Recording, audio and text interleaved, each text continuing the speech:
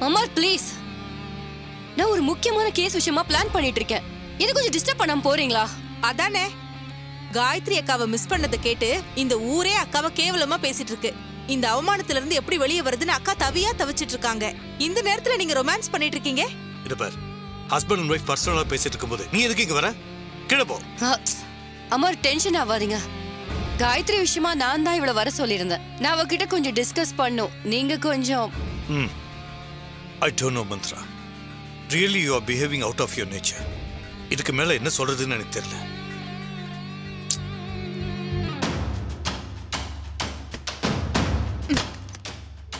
என்னக்கா இந்த ஆளு? பேன் புடிச்ச மாதிரி போட்டு அரி அரின்னு அரிச்சிட்டு இருக்கான். இவனை என்கவுண்டர்ல போட்டு தள்ள முடியாதா? எவ்வளவு அவமானப்படுத்தினாலும் விட்டுட்டு போக மாட்டேங்கிறானே. எப்படி துரத்துறதுனே தெரியல. இருக்கிற இம்சையில இவனை வேற சமாளிக்க வேண்டியிருக்கு. எப்படிக்கா அந்த மந்திராவை போய் தப்பிக்க விட்ட? அவளுக்கு கொடுத்த மயக்க மருந்து ரொம்ப பவர்ஃபுல் நிச்சயமா ஒரு மணி நேரம் அவளால கண்ணு முழிக்கவே முடியாது. இருந்தாலும் அவ உன்கிட்ட இருந்து தப்பிச்சு போயிருக்காளே. அவ ஐபிஎஸ்டி சத்யாவோட கார்ல வேற விழுந்துட்டாளே. அதுக்கு தான் நான் பதறிட்டு இருக்கேன். அடியாளுங்க கிட்ட விசாரிச்சிட்டேன். சத்யா கார்ல மோதி அவ மயக்கம் போட்டு விழுந்ததை பாத்திருக்கானுங்க ஆனா அவ மயக்கம் தெளிஞ்சு உண்மையை சொன்னா நான் காலி. எல்லா பிளானும் மண்ணோட மண்ணா போயிடும். அக்கா அவ மயக்கம் போட்டு தானே விழுந்திருக்கா? ஏதாவது ஒரு ஹாஸ்பிட்டல்ல தானே அட்மிட் பண்ணிருப்பாங்க? எந்த ஹாஸ்பிட்டல்னு கண்டுபிடிக்க முடியாதா? இது வரைக்கும் அந்த சத்யா அத பத்தி வாயை திறக்கலையே. அந்த மந்த்ரா தான் காயத்ரி. அவ உன்கிட்ட இருந்து தப்பிச்சிருக்கான்னு நீயே நியூஸ் கொடுத்திருக்க. அத பார்த்தும் அந்த சத்யா அவளை காப்பாத்திருக்கா நீ நேரா போய் அவளை அரெஸ்ட் பண்ணி நாலு சாத்து சாத்துனா எந்த ஹாஸ்பிட்டல் சொல்ல மாட்டாளா என்ன? மடத்தனமா யோசிக்காத. அவ கஸ்டடியில தான் மந்த்ரா இருக்கான்னு நமக்கு எப்படி தெரியும்னு கேட்டா? ஆமால்ல. அப்ப சத்யா கிட்ட நேரடியா என்கொயரி பண்ணவே முடியாதா? முடியாது. அவளா உண்மையை சொல்லணும். இல்லனா எந்த ஹாஸ்பிட்டல் அவளை அட்மிட் பண்ணிருக்காங்களோ அந்த ஹாஸ்பிட்டல்ல இருந்து போலீஸ்க்கு தகவல் சொல்லணும். சத்யா தான் உண்மையை மறைக்கிறான்னா மந்த்ராவை அட்மிட் பண்ண ஹாஸ்பிட்டல்ல இருந்து எப்படி இது வரைக்கும் போலீஸ்க்கு தகவல் சொல்லாம இருக்காங்க? உனக்கு தெரியாம ஏதாவது ஒரு ஸ்டேஷன்லயோ இல்ல கமிஷனர் ஆபீஸ்லயோ தகவல் சொல்லிருக்கலாம்ல? அது முடியாது. எல்லா ஸ்டேஷன்லயும் சொல்லி வச்சிருக்கேன். கமிஷனர் ஆபீஸ்லயும் ஏற்கனவே என் ஆள் ஒருத்தன் கவனமா கண்காணிச்சிட்டு இருக்கான். அங்க என்ன நடந்தாலும் எனக்கு தகவல் வந்துரும். ஐயோ அந்த மந்த்ரா இப்ப எங்க இருக்கான்னு ஒண்ணுமே தெரிய மாட்டேங்குதே. லேட்டாக லேட்டாக ஒவ்வொரு நிமிஷமும் எனக்கு பக்கு பக்குன்னு இருக்குக்கா. அவளை எப்படியாவது சீக்கிரமா கண்டுபிடிக்கணும். நானும் அதுக்கு தாண்டி ட்ரை பண்ணிட்டு இருக்கேன் ஷோ அவனை என்னன்னு கேளு. ம்.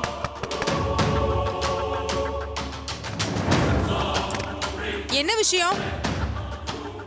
முக்கியமான விஷயம் பேசிட்டு இருக்கேன்ல உன்னை பார்க்கறதுக்கு தாசில்தார் சத்யாவும் காயத்ரி ஹஸ்பண்ட் குமாரும் வந்திருக்காங்க. அவங்க எதுக்கு இங்க வந்தாங்க? தெரியல. சரி நீங்க போங்க நான் வரேன்.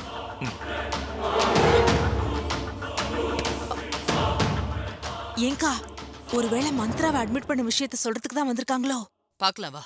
அக்கா அவ ரொம்ப புத்திசாலிக்கா பார்த்து ஜாக்கிரதையா பேசு. என்கிட்டயே சொல்றியா? வா. அதான் தேங்க்ஸ் சொல்லிட்டு போகலாம் நம்ம ஆ.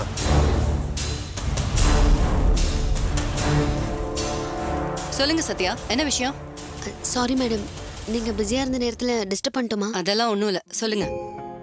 நைட்டு நாங்க வெள்ள நிவாரண பணிக்கு போயிட்டோம். இப்பதான் உங்களோட ஃபிளாஷ் நியூஸை பார்த்தோம். அதான் உங்ககிட்ட பேசிட்டு போலான்னு வந்தோம். வெறும் நியூஸ் பத்தி பேசுறதுக்கா இவ்வளவு தூரம் வந்தீங்க? ஆமா மேடம் இந்த நியூஸ் எங்களுக்கு ரொம்ப பெரிய பலம்.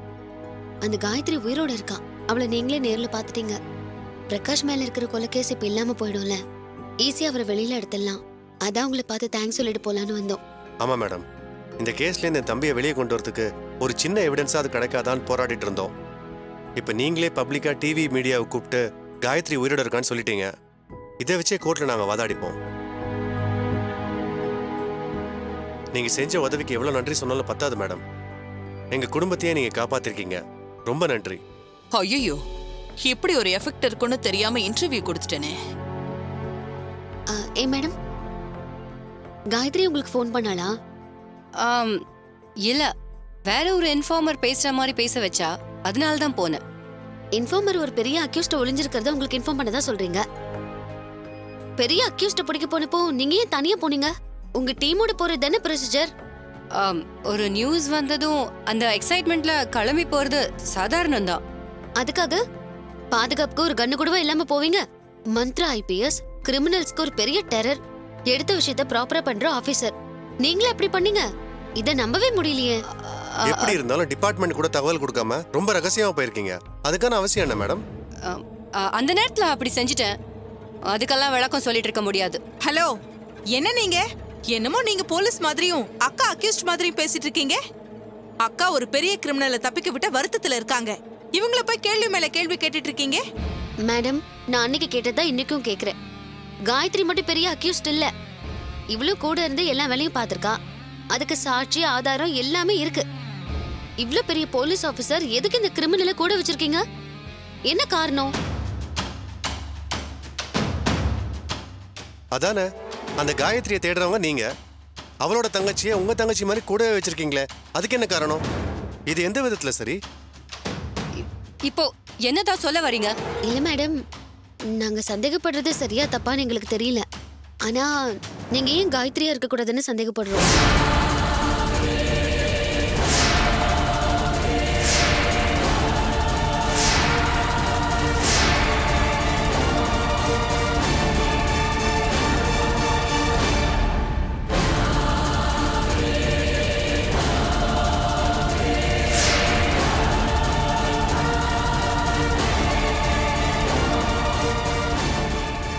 காயத்ரி உங்களை கடத்தி உங்க இடத்துக்கு வர ட்ரை பண்ணா நீங்களே இன்டர்வியூ கொடுத்துருக்கீங்க. அது ஏன் ஏற்கனவே நடந்திருக்க கூடாது? நீங்களே காயத்ரியா இருக்கலாம்ல?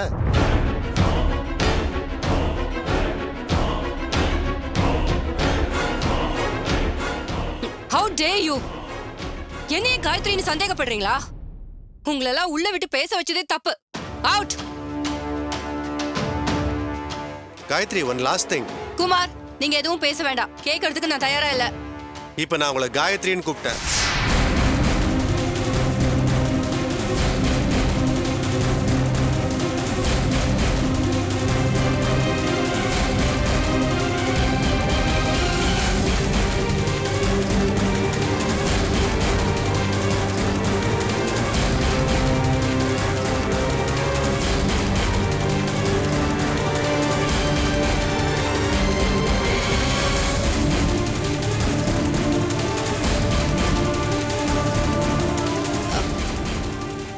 அது வந்து அந்த காயத்ரியோட ஞாபகத்துல இருக்கிறதுனால காயத்ரின்னு கூப்பிட்டதும் திரும்பி பதில் சொல்லிட்டேன்.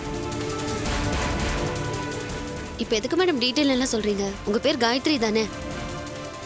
முட்டாள்! நான் காயத்ரி இல்ல மந்த்ரா. இதை எத்தனை தடவை தான் உங்ககிட்ட சொல்றது? மேடம் எனக்கு ஒரு விஷயம் புரியல. உங்க பேர் காயத்ரி மந்த்ரா தேவி தானே? அன்னைக்கு கூட நீங்க காமிச்ச சர்டிபிகேட்ல அப்படிதானே இருந்துச்சு? உங்க பேரை சொல்லி கூப்பிட்டா ஏன் கோவப்படுறீங்க? நான்சென்ஸ் அதெல்லாம் எனக்கு தெரியும். நான் இப்ப வேற டென்ஷன்ல இருக்கேன். இங்க வந்து உயிரை வாங்காதீங்க. நான் ஏதாவது கடுமையா பேசுறதுக்குள்ள இங்க இருந்து போயிடுங்க. மாமா வாங்க. மந்த்ரா என்ன நடக்குதுங்க? அவங்க சொல்றதெல்லாம் பார்த்தா Shut இது up, அமர் இருக்கிற டென்ஷன் பார்த்தது நீங்க வர உயிரை வாங்கிட்டு இருக்கீங்க. உங்ககிட்ட பேசுறதுக்கே எரிச்சலா இருக்கு.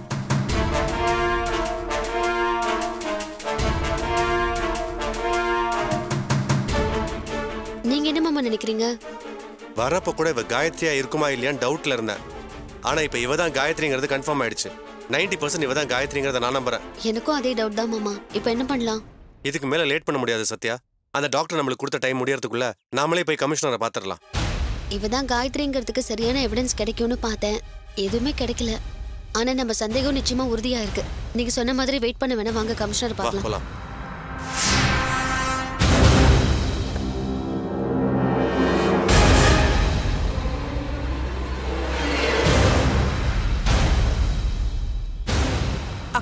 அவங்க போயிட்டாங்கக்கா. நாசமா போறவ என் உயிரை வாங்கறதுக்குனே வந்து சேர்ந்திருக்கா. என்னக்கா இது? உன் முகத்துக்கு நேரா நீதான் காயத்ரின்னு தைரியமா சொல்லிட்டு போறா?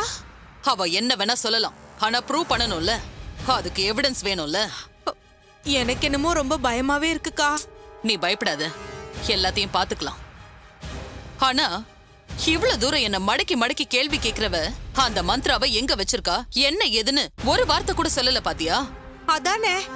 அந்த மந்த்ராவை பார்த்ததும் டிபார்ட்மெண்ட்டுக்கு தகவல் சொல்லாம உன்னை வந்து ஏன் இங்க டார்ச்சர் பண்ணிட்டு இருக்கா எவ்வளவு திமிரு பாத்தியா அவளுக்கு? இப்ப அந்த மந்த்ராவை எந்த ஹாஸ்பிட்டல்ல வச்சிருக்கான்னு நீ எப்படிக்கா கண்டுபிடிப்ப? அந்த சத்யாவோட போனு நேத்து நைட்டு எந்த டவர்ல இருந்ததுன்னு ட்ரேஸ் பண்ண சொல்லியிருந்தேன். ஆனா அது ஸ்விட்ச் ஆஃப் ஆயிடுச்சு. ஐயோ அப்ப எப்படி கண்டுபிடிப்ப? சத்யாவோட மொபைல் ஸ்விட்ச் ஆஃப் ஆயிருந்தா என்ன? குமாரோட மொபைல் இருக்குல்ல? அந்த நம்பரை கொடுத்து ட்ரேஸ் பண்ண சொல்லியிருக்கேன்.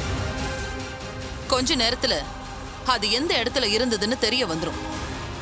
சூப்பர்க்கா. அப்ப அது எந்த ஹாஸ்பிட்டல்ல கண்டுபிடிச்சிடலாம்ல? ம். அந்த மொபைல் எந்த ஏரியால இருந்துச்சுன்னு கண்டுபிடிச்சா எந்த ஹாஸ்பிட்டலுங்கிறத அந்த ஏரியாவுக்கு போய் தான் கண்டுபிடிக்கணும். ம். அப்ப தகவல் வந்ததும் நீயும் நானும் சேர்ந்தே போயிடலாம்க்கா. நோனோ இனிமே நீ என் பக்கத்திலே இருக்க கூடாது ஏன்க்கா அவங்க பேசுனது கவனிச்சியா? நீ என் தங்கச்சின்னு அவங்களுக்கு சந்தேகம் வந்துருச்சு. இனிமே நீயும் நானும் ஒண்ணா இருந்தா அவங்க ஈஸியா கண்டுபிடிச்சிருவாங்க. இன்னும் கொஞ்ச நாளைக்கு நீ நேர்ல வராத. எதுவா இருந்தாலும் போன்லயே பேசு. அவங்க பேசுறதுக்கெல்லாம் நாம பயப்பட முடியுமாக்கா? பயந்து தான் ஆகணும். முட்டாள்தனமான தைரியம் தோல்வியில தான் போய் முடியும். நான் சொல்றத கேளு. எதுவா இருந்தாலும் போன்ல பேசு. நீ இப்ப கிளம்பு. சரிக்கா.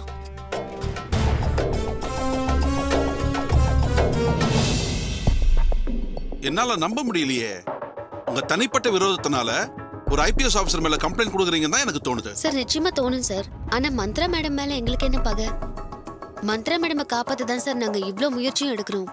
சார் அப்படியே பார்த்தாலும் ஒரே உருவத்துல ரெண்டு பேர் இருக்காங்கன்றது கன்ஃபார்ம் ஆகுதுல்ல சார். காயத்ரி உயிரோட இருக்காங்கிறது உறுதியாகுதுல்ல சார்.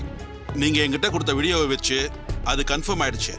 ஆனா இப்ப மந்திர வேஷத்துல இருக்கிறது காயத்ரி தான் நீங்க சொல்றதான் என்னால ஏத்துக்கவே முடியல. போலீஸ் டிபார்ட்மெண்ட் அவ்வளவு ஈஸியா ஏமாத்த முடியாது. ஒரு சாதாரண வீட்டுக்கு போய் அந்த குடும்பத்துல ஒருத்தியா நடிக்கிறதே கஷ்டம்.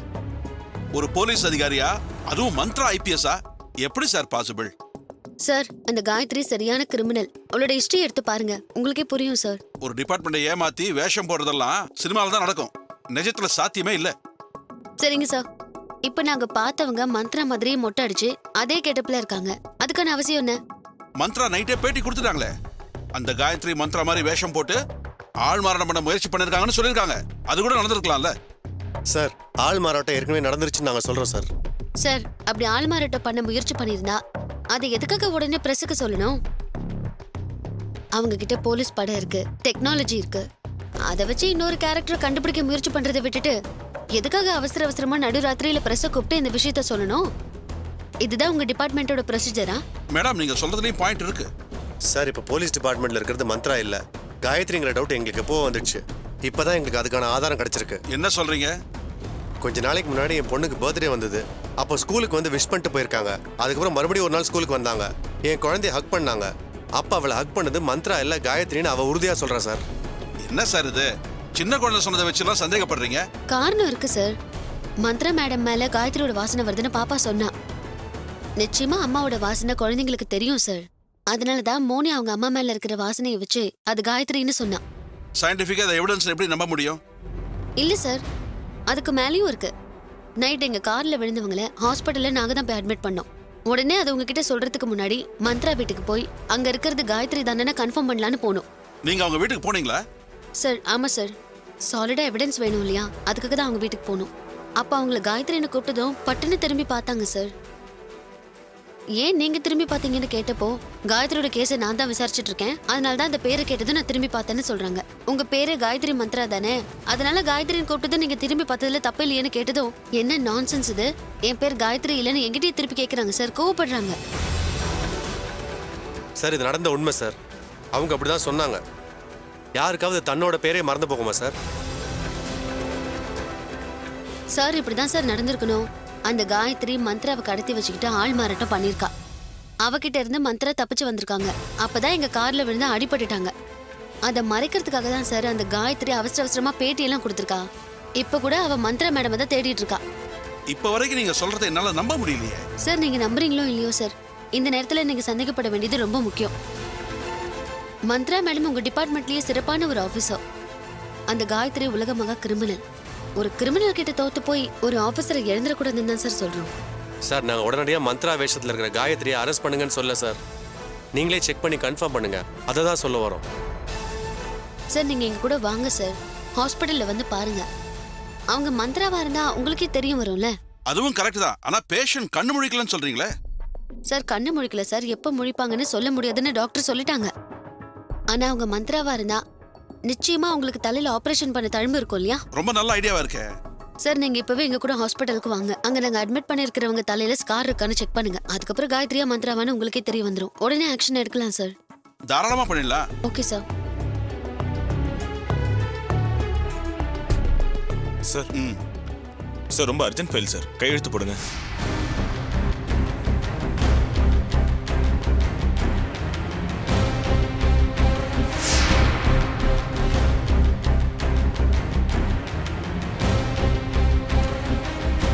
Good idea madam thank you sir அவங்க மந்த்ராவா இருந்தா குண்டடிப்பட்ட தழும்பு இன்னும் மாறி இருக்காது. அதை செக் பண்ணா மந்த்ராவா இல்லையான்னு தெரிஞ்சு போயிடும். வாங்க போலாம்.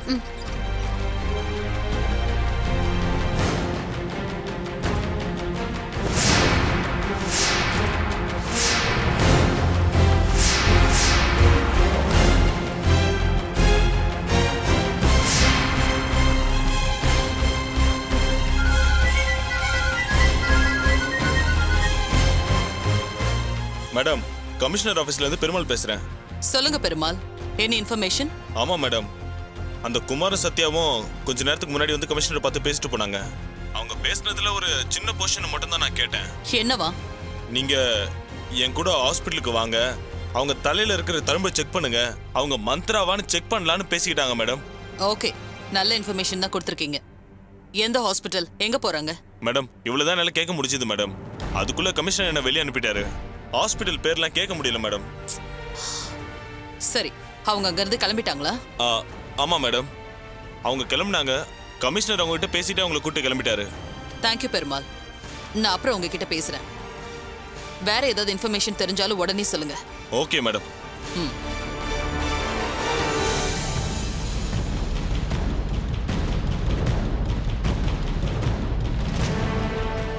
மேடம் என்னாச்சு? கண்டுபிடிச்சிட்டீங்களா?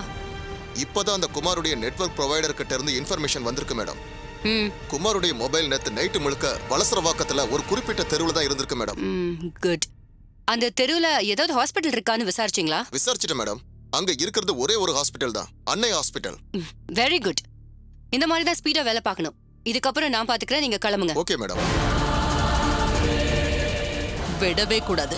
அவங்களுக்கு முன்னாடி நான் முந்திக்கணும்.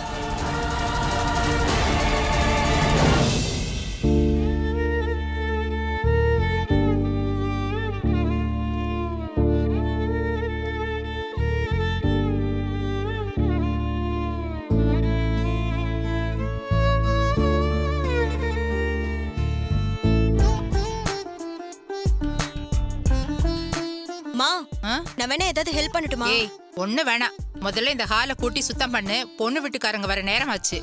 மா உலகத்திலேயே இப்படி ஒரு விஷயத்த நான் எங்கேயுமே பார்த்தது இல்லம்மா எல்லாரும் பொண்ணு பார்க்கதான் குடும்பத்தோட பொண்ணு வீட்டுக்கு போவாங்க. இங்க என்னடானா அப்படியே உல்டாவா இருக்கு. மூர்த்தி மாமாவை பார்க்க பொண்ணு வீட்டுக்காரங்க இங்க வராங்க. ஏய் சும்மா வாய மூடு. பாவம் மூர்த்தி. கையில அடிபட்டிருக்கு. அதனால சிரமப்படுத்த வேண்டாமேன்னு பொண்ணு வீட்டுக்காரங்க இங்க வராங்க. அவங்க ஒன்னும் மாப்பிள்ளை பார்க்க வரல. பொண்ணை காட்ட வராங்க. மா அக்கா பொண்ணு போட்டோவையாவது காட்டினாளா? எங்க? பொண்ணு நேர்ல வரா? நேர்ல பாத்துக்கோங்கன்னு சொல்லிட்டா. வர்ற பொண்ணது குடும்ப பாங்கா இருக்கணும்க்கா. அந்த கேடு கிட்ட வினோதினி மாதிரி இருந்துடக்கூடாது. ஆண்டவன் கிட்ட நான் அதைத்தான் வேண்டிக்கிறேன். இந்த பாரு சத்யா பார்த்த பொண்ணு இல்லையா? வார்த்தைக்கு வார்த்தை. ரொம்ப நல்லவன்னு சொல்றா. ஏழையா இருந்தாலும் குணத்துல சொக்க தங்கோங்கிறா. நீங்கெல்லாம் இப்படி பொண்ணை பத்தி சொல்ல சொல்ல எனக்கே பொண்ணு பார்க்கணும் போல இருக்கு. ஆனா மாப்பிள்ள தான் ஏதோ தேவதாஸ் மாதிரி உட்கார்ந்திருக்காரு. யாரும் என்ன ஏதுன்னு கேட்க மாட்டீங்களா? என்னம்மா ஆச்சு? பொண்ணு வீட்டுக்காரங்க வேற வர போறாங்க மூர்த்தி மாமாவை பாருங்க. எப்படி குளிக்காம கொள்ளாம உட்கார்ந்திருக்காருன்னு. ஏண்டா மூர்த்தி? என்னடா இது? நல்ல நாள் அதுமா? இப்படி இடி விழுந்த மாதிரி உட்காந்துருக்க போய் குளிச்சிட்டு ரெடி ஆவுடா. அக்கா விடுக்கா. இந்த கைய வச்சுட்டு நான் என்னத்த குளிச்சு ரெடி ஆகுது? போக்க. மாமா எல்லாரும் வராங்க. குளிச்சுட்டு நல்லா ஃப்ரெஷ்ஷா ரெடி ஆகுங்க மாமா. அட போமா வரவங்க இந்த லட்சணத்திலே என்ன பார்த்தா போதுமா எனக்கு எதுலயுமே விருப்பம் இல்ல. என்னப்பா இப்படி பேசுற? உன் வாழ்க்கை நல்லா இருக்கணும் நாங்க பாடுபடுறோம். நீ இப்படி விட்டேத்தியா பேசுற? விட்டேத்தியா பேசுறேனா? கலாவை நினைச்சிட்டு இருக்கும்போது வேற பொண்ணை நான் எப்படி பாப்பேன் மூர்த்தி என்னப்பா ஒண்ணும் பேச மாட்டேங்கிற ஆ? போ எழுந்து போய் குளிச்சிட்டு ரெடியாகுப்பா மா இவர் நம்ம சொன்னா கேட்க மாட்டாரு. இவர் சமாளிக்க கலாக்கானால தான் முடியும். இரு வர. ம்ம். ஹம், கலா வந்து என்ன பண்ண போறா. அக்கா அக்கா என்னக்கா ஆச்சு? பாத்திரம் கை தவறி விழுந்துருச்சு. அதுக்கு என்ன பண்றது? என்னக்கா இது? மூர்த்தி மாமாவுக்கு பொண்ணு கட்ட வராங்க நாங்கள சந்தோஷமா இருக்கோம். நீங்க என்னடானா சம்மந்தமே இல்லாத மாதிரி இருக்கீங்க? எனக்கு வேலை இருக்குல்ல. அவரை பாக்குறதுக்கு பொண்ணு வீட்டுக்காரங்க வராங்கங்கிறதுக்காக நான் என் வேலையை விட்டுட்டு டான்ஸ் ஆட முடியுமா? இவளுக்கு என்ன பிடிச்சிருக்கா இல்லையானே தெரியலையே. அங்கிள்னு கூப்பிட வேண்டியவன அத்தான்னு கூப்பிடுறதுக்கு பிரியம் இல்ல போல இருக்குது. கலா இங்க பாருமா. நீ போய் அவனை என்னன்னு கேளுமா. அவன் ஏதோ முனி அரைஞ்ச மாதிரி உட்காந்துருக்காமா இப்ப நான் என்ன பண்ணணும்னு சொல்றீங்க? மா நாங்க சொன்னா அவன் கேட்க மாட்டேங்கிறாமா நீ சொன்னதை அவன் கேட்பான். போய் என்னன்னு கேளு. அவர் என்ன சின்ன பாப்பாவா? தலையை பிடிச்சு தர தரன்னு இழுத்துட்டு வந்து குளிக்க வச்சு ட்ரெஸ் மாத்தி அனுப்பி வைக்கிறதுக்கு? இதெல்லாம் அவரே தானா செய்யணும். இதுக்கெல்லாம் ரெக்கமெண்டேஷன் வேற. கதை கத்தலாயிரும் போல இருக்குதே. அக்கா நாங்கெல்லாம் யாரு சொன்னாலும் அவர் கேட்க மாட்டாருக்கா. ப்ளீஸ்க்கா நீங்க வந்து ஒரே ஒரு வார்த்தை சொல்லுக்கா.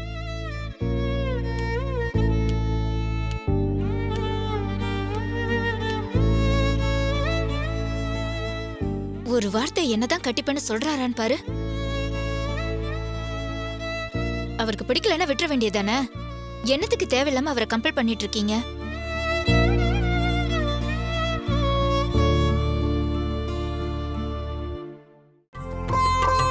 நீங்களே ஏன் தினமும் எங்களை தேடி வரீங்க?